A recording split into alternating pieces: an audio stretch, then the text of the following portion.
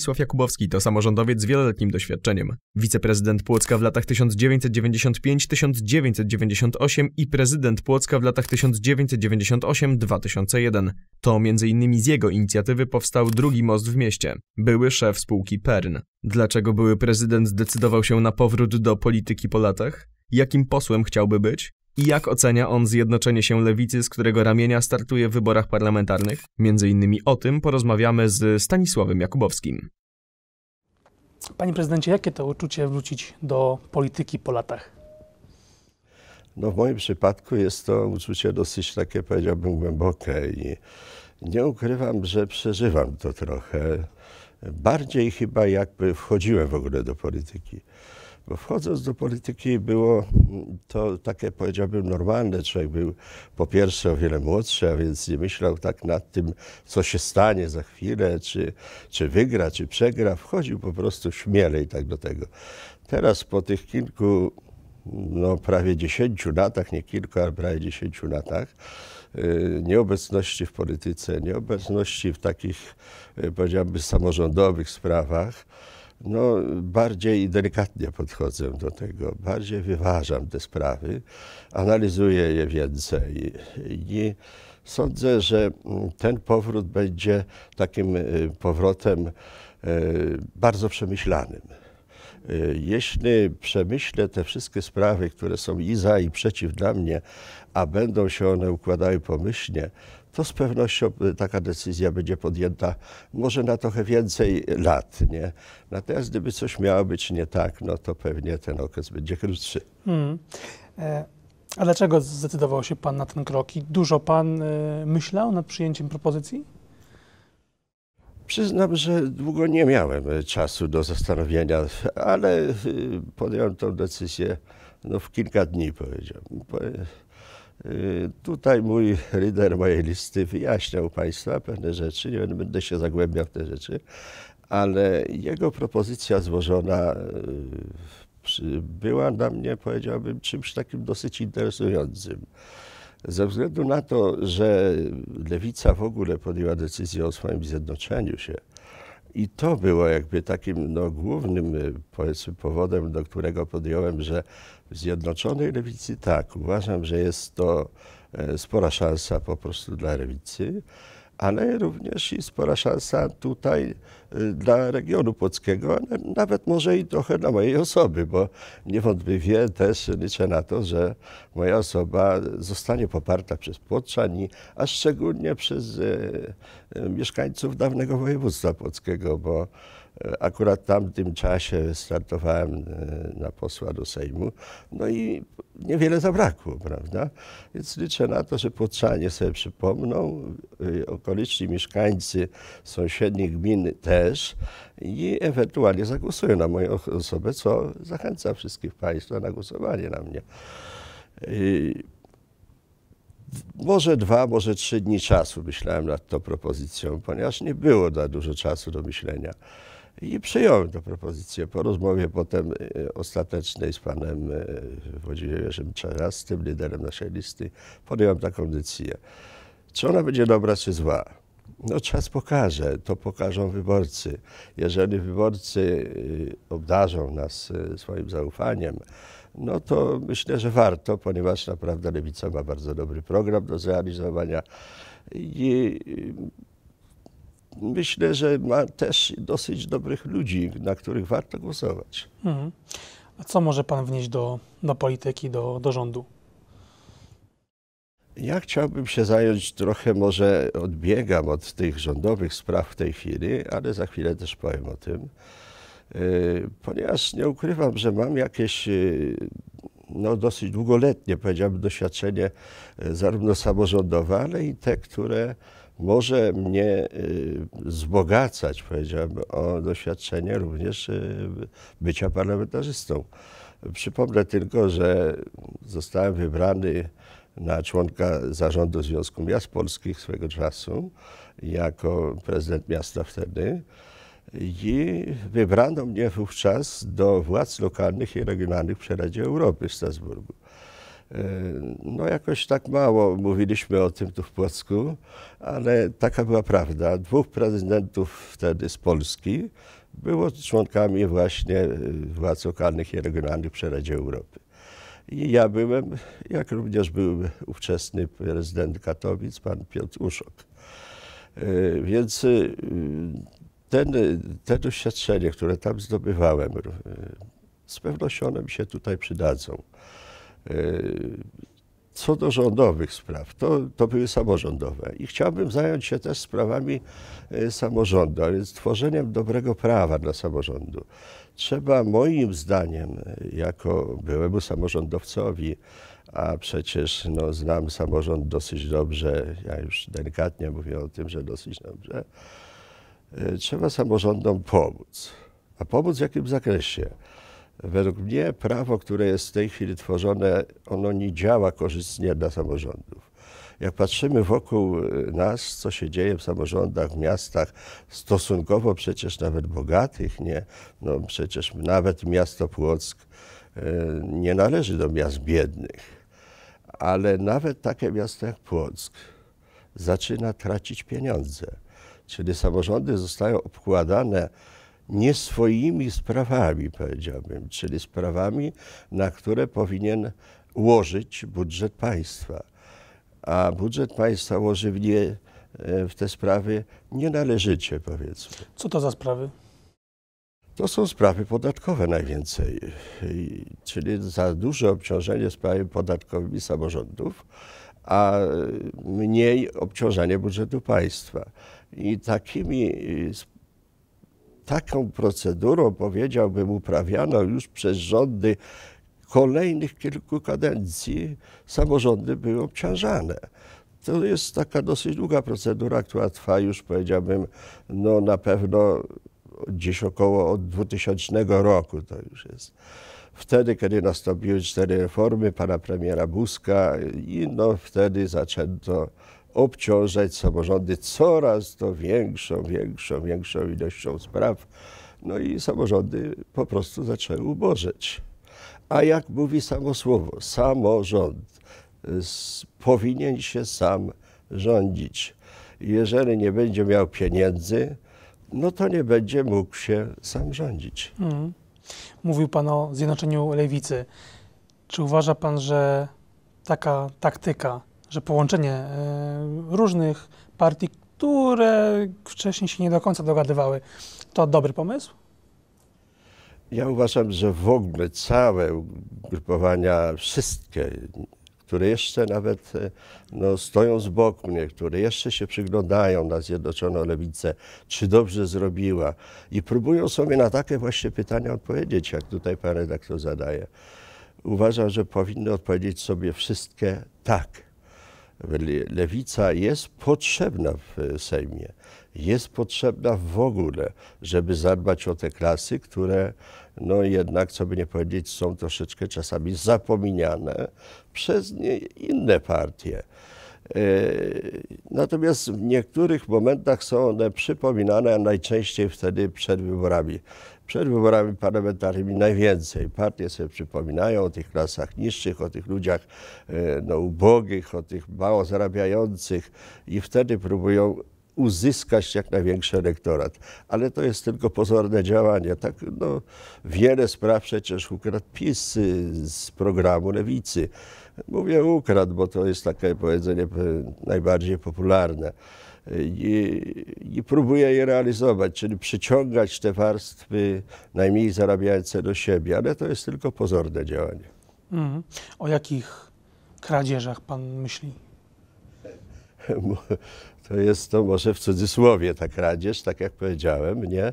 Ale jest to zagarnięcie myśli, które e, puszczane są potem w obieg programach y, partyjnych, tak. I to jest y, według mnie ta kradzież. To jest, y, to jest opieka społeczna, to jest służba zdrowia, która, no co by nie powiedzieć, przecież latami została tak troszeczkę zaniedbana. O opiece społecznej to można mówić, no o dziesiątkach lat, prawda? E, no można mówić, przecież są nie, również o edukacji. W edukacji wiele rzeczy się nie udało, czyli ta reforma ministra Handkego została jakby, no, moim zdaniem, położona o, najbardziej o gimnazja. I teraz y, y, najwięcej kto ucierpiał na tym? Najwięcej ucierpiały rodziny te, które najmniej zarabiają, czy te, które mają najniższe dochody. I teraz próba znowu przyciągania tego elektoratu o najniższych dochodach, no nie jest to, powiedziałbym, zbyt grzeczna przez te partie. A, a niestety tak to się dzieje. Więc myślę tutaj o, takim, o takiej kradzieży, czyli o kradzieży politycznej. Stał Pan na czele Pernu. To niewątpliwie ogromny zakład. Można przełożyć jakoś taktykę zarządzania firmą, a zarządzanie miastem? E, tak, podkreślam to jednym zdaniem i powiem jeszcze raz tak. Uważam, że y, dobrzy menadżerowie w miastach powinni brać wzory i naśladować je również z dobrych menedżerów firm. E, dobre zarządzanie, a ja z zarządzaniem mam już wiele, wiele lat do czynienia. Mało tego, przecież jestem również e, wykładowcą akademickim i między innymi też z tej dziedziny, bo dużo o stosunkach międzynarodowych i zarządzaniu, to muszę powiedzieć, że e, dobry samorząd, dobry powtarzam, jest dobrze zarządzany przez dobrego menadżera. Jeżeli ten menadżer będzie brał przykłady również do, z takich firm, jak chociażby w Pern moich latach, bo w moich latach, muszę przypomnieć, to może nie, nieskromnie, ale zrobiliśmy największe inwestycje wówczas, y, które przynoszą dzisiaj ogromne dochody Pernowi, ale jednocześnie osiągaliśmy najwyższe wyniki. Więc to jest trudno pogodzić, tak? Duży proces inwestycyjny z bardzo dobrymi wynikami firmy. Po pierwsze, trzeba stawiać na ludzi. Trzeba zaufać ludziom. Jeżeli jest menadżer, który nie ufa ludziom, który podchodzi do ludzi y, nieufnie każdego dnia, o każdej porze, o każdej minucie, to jest zły menadżer. To jest bardzo zły menadżer. Natomiast jeżeli jest menadżer, który zaufa ludziom, zawierzy im, y, oczywiście z pewną kontrolą, ale daje im swobodę działania, wybiera najlepszych spośród tych dobrych i powierza im coraz wyższe i lepsze y, zadania do wykonania. To jest bardzo dobry menadżer i takich menadżerów powinniśmy wybierać też na stanowiska samorządowe. Płock ma dobrego menadżera w tej chwili? Ja nie chcę oceniać, byłoby to z mojej strony absolutnie niezręczne, jako byłemu prezydentowi mówić o, o, jego następcy czy następcach. Nie czynię tego, jak Państwo zauważyli. Nie komentowałem postępowania żadnego prezydenta dotychczas i tego czynić nie będę. Natomiast y, mogę tylko powiedzieć jedno. Jest to bardzo inteligentny człowiek, no bo przecież to polonista, świetny mówca, może wiele zrobić, wiele uczynić i życzę mu tego, żeby tak to robił. Mm. Mówiliśmy o Pernie. Równie wielką, większą firmą y, jest Orlen. Jak takie wielkie spółki powinny współpracować z miastem? Na jakim polu? O, powinny współpracować bardzo dobrze, tylko teraz y, jak to uczynić? E, sądzę, że jest tu duża rola właśnie prezydenta miasta i życzyłbym mu tego, żeby nawiązał takie kontakty z firmami, które będą jakby przyciągały tym magnesem jednocześnie miasto do siebie. E, ponieważ, co by nie powiedzieć, są to no, jednostki, przecież miasto, Pern, Orlen, które zatrudniają największe ilości ludzi, ludzi z miasta, z okolic i sądzę, że takie współdziałanie byłoby bardzo konieczne. A ono jest, nie ukrywam, w tej chwili mocno utrudnione. Mocno utrudnione z tego powodu, że no, mało mamy ludzi w zarządach zarówno Orlenu, jak i też Pernu, ludzi z Płocka. A mamy przecież świetnych menedżerów w Płocku. Mamy doskonałych gospodarzy, których powinno się stawiać właśnie na najwyższe stanowiska e, właśnie w tych firmach. Byłoby wtedy lepiej, łatwiej się dogadywać w sprawach miasta. Ale no cóż, minister skarbu według mnie popełnia błąd, zwożąc nam tutaj menadżerów e, z, gdzieś tam z różnych miast Polski, e, którzy tak nie identyfikują się z miastem albo mało się identyfikują z miastem.